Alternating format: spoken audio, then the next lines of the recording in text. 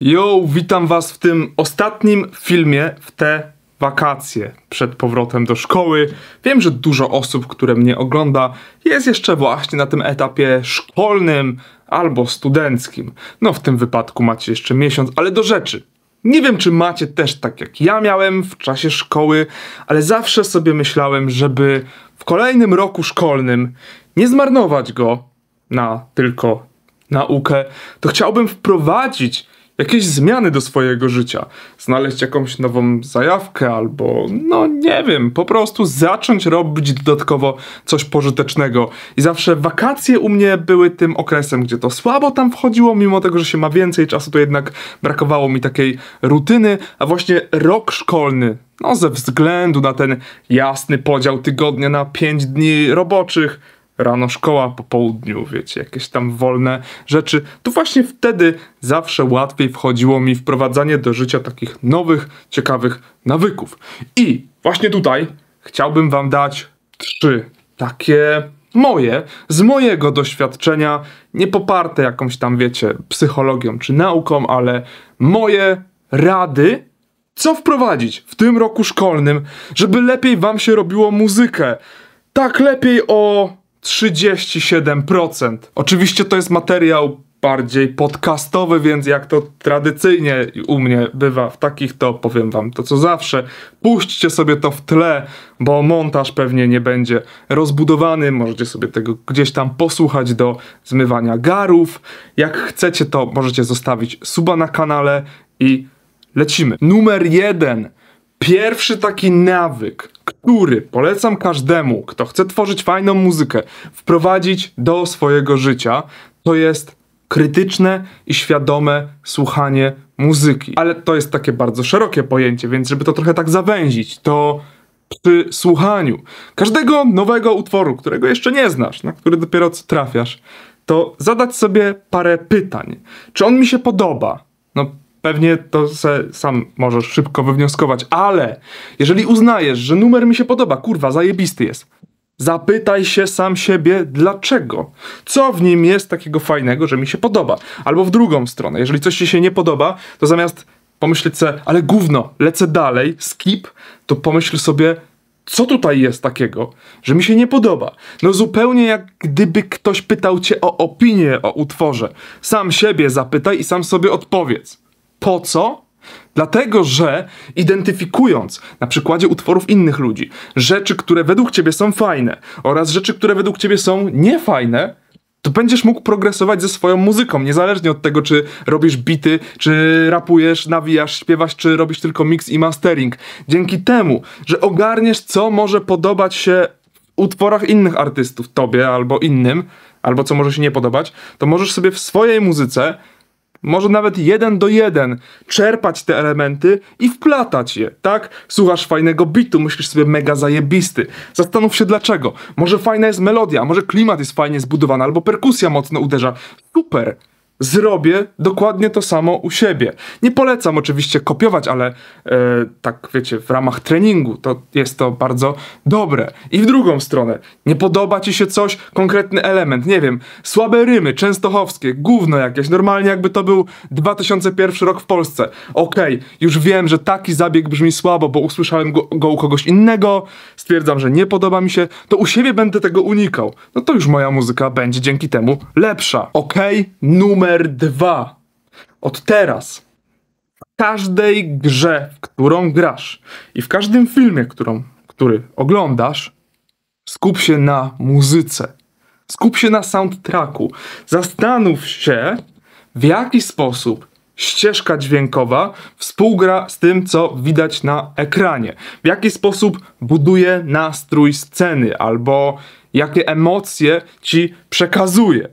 I Czemu to jest ważne? Bo ktoś sobie może powiedzieć, no dobra stary, ale ja nie chcę być kompozytorem, ja to w ogóle nic mnie nie interesuje poza klepaniem bitów.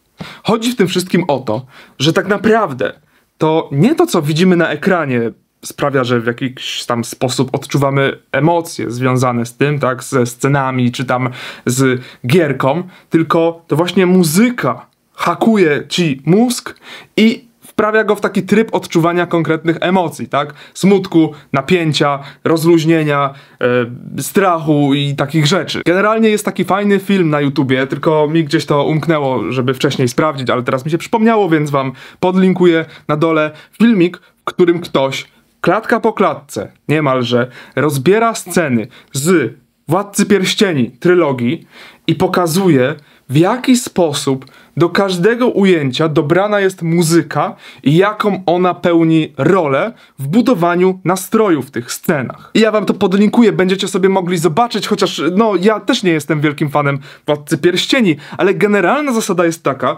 że można z tego nauczyć się jak w muzyce uchwycić konkretne emocje i jak przekazać je odbiorcy. Dzięki temu chcesz zrobić beat, który wywołuje konkretne uczucia u słuchacza? Spoko! Na podstawie analizowania tego, jak robią to kompozytorzy w filmach bądź w grach, możesz się tego nauczyć. Nauczyć, jak stosować to w swojej muzyce. I rzecz numer trzy, którą polecam wprowadzić do swojego życia, żeby tworzyć lepszą muzykę, jest e, paradoksalnie bardzo niemuzyczna, ale jednocześnie najważniejsza chyba z tych wszystkich, które tutaj dałem, bo będzie ci służyć przez całe życie. I to jest znalezienie innej zajawki niż muzyka i niech to będzie sport.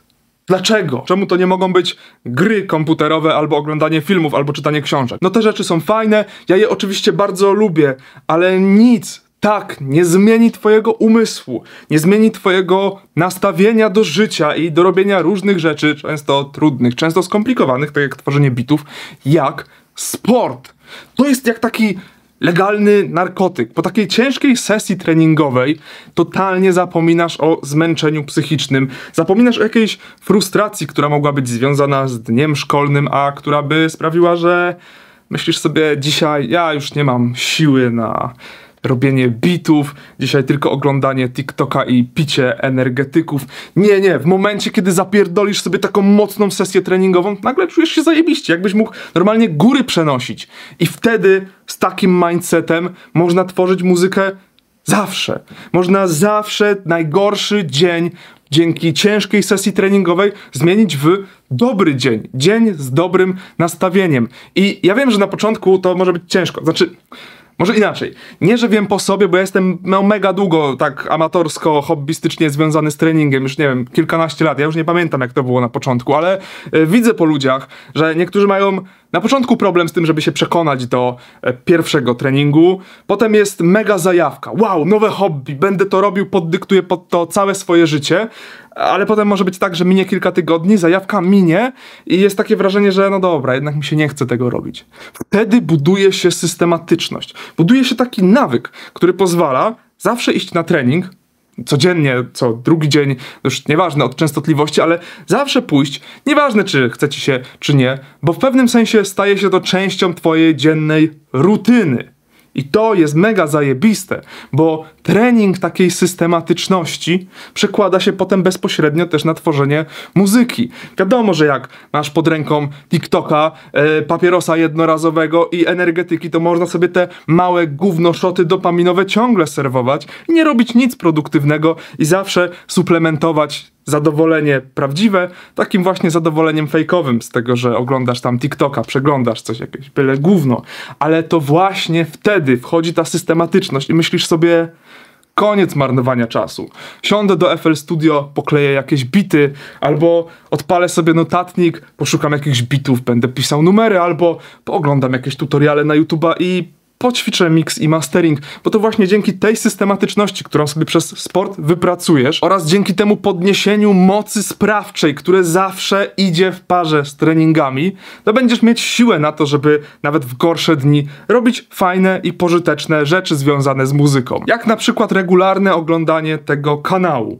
Ostatnio zacząłem streamować chyba będę co niedzielę streamował i wiecie co? Długo nie mogłem się do tego zabrać, dlatego pierwszego streama zrobiłem właśnie po ciężkiej sesji treningowej, bo wiedziałem, że nigdy sam sztucznie nie wymuszę w sobie takiej motywacji, jak ta, którą naturalnie poczuję po tym, jak odwalę ciężki trening, mimo tego, że będę zmęczony fizycznie, to psychicznie będę naładowany, wiecie, pełnią pomysłów i takiego zadowolenia. Także tego Wam też życzę.